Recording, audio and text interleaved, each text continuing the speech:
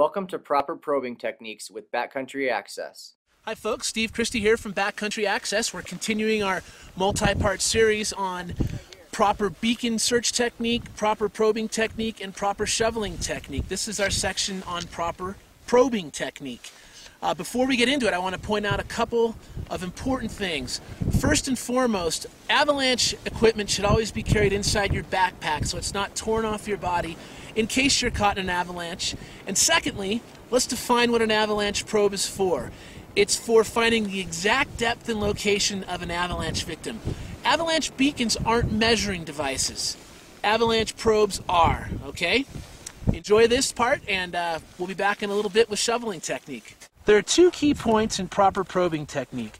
The first is to always probe perpendicular to the snow surface, not plumb. The second is after your first probe hole, probe 10 inches or 25 centimeters apart in concentric circles. Concentric circle probing is an organized technique for probing. Here's an example of how it would work until a positive strike is received.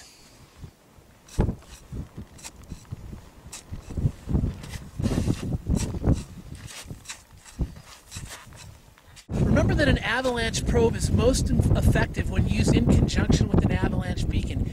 If you have buried avalanche victims that don't have avalanche transceivers, you've only got two choices to work with. The first is to spot probe likely burial areas like the upside of a tree or piles of debris stuffed around the snowfield. If you don't find them that way, you're going to have to call a search and rescue unit in, and it takes an awful lot of time to deploy those people to come and find them. So keep in mind, always travel with a beacon, shovel, probe, and smart companions.